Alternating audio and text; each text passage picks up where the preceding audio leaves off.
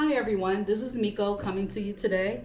Uh, today we're going to talk about the helmets that I wear, or now I switched over. I have two different helmets, but um, the helmet that I wear when I'm doing food delivery on my scooter.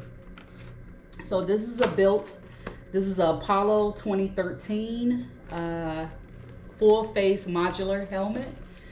Good helmet, but I don't think you really need it for a 49 125, 150 cc scooter. That's just my opinion. Since I've been wearing it, and I had this for 10 years. I keep my stuff. So uh, I finally took out the inside because it snaps out, and I washed it, and smell really good. Smell like Downy. it smells really good. But um, what the the thing I didn't the things I didn't like about this helmet was um, if I had this down when I walk into a restaurant, they couldn't hear me because this was blocking, I guess. They couldn't hear me. So, and then if I had the visor down, they're looking at me like, okay, we, we can't see your face. We need to see your eyes. So I'm like, well, what difference does it make? I'm just coming to pick up an order. So anyway, um, so another thing I didn't like about it is like, I had to raise this up to go up the stairs to the deliver the food because Sometimes you're dropping off second, third, fourth floor with no elevator. So when you take the stairs and then different staircases are different, it's just so I was huffing and puffing. so I um, actually bought me a different helmet and I switch. Sorry. So I recently bought this. I love this helmet. This is a three quarter, still full face to me, this is better, especially with airflow. I don't have that bottom part. This is much easier to lift up. This is a 2021 route journey. I had to write it down. but, excuse me. So this is a 2021 route journey and I love this helmet. So now when I go in, I don't even have the visor down when I go in because I'm, you know, they need to see my face. Now you can see my full face. so I get a lot of air on here. I love it. Um, I think the first helmet that I showed you, the Apollo, the modular, that's more for motorcycles to me.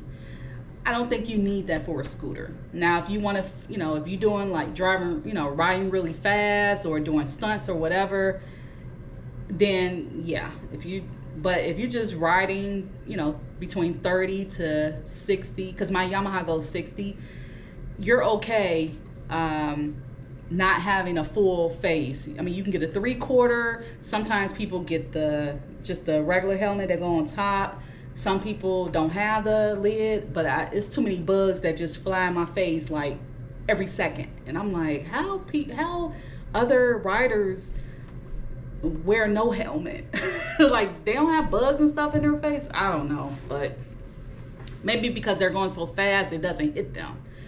You know, they at a faster speed. I don't know. But anyway, I love this helmet. So if you decide to uh, get a scooter transition to a gas scooter to do food delivery, I would say consider a three quarter helmet so you can have more airflow. Even with this down, you have so much airflow. And look, it's brand new. I love it. I only had it for like two weeks. So I got it on sale, of course. You know I'm gonna keep this another 10 years, right? Even though you're supposed to swap it out. He told me, he said, no, you're supposed to swap it out at least maybe the third year. But it's fine. But anyway, I just wanted to show you the two different helmets. Um, this first helmet, I'm gonna keep as a backup.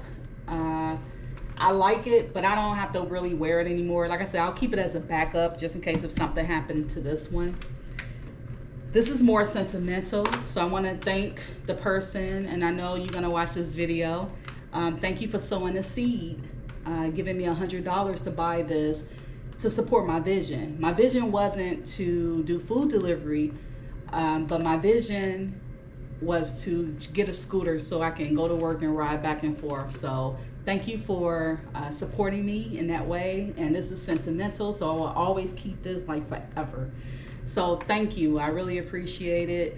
Um, he never held it over my head. He never asked for it back. He never you know how some people try to make you feel bad. Well, I gave you this, and well, can you do something for me? He never, never, ever, ever done that, and I love that about him. So thank you. I know you're gonna watch this video, so I want to say thank you. I told you thank you plenty of times, but um, when you have people that sew into your vision, regardless of what it is, that's good. Those are keepers. So he's a keeper. So thank you. Uh, sir. I'm trying not to say his name. So, um, so yeah, anyway, so this is more of a sentimental. I'm gonna keep this. But yeah, getting back to uh, using the helmet for food delivery, I would say consider a three quarter so you can get that airflow. Um, and then when you go up the stairs, so now when I go up the stairs, I just lift this up and now I'm not huffing and puffing like I used to because the modular, you know, it was in the way.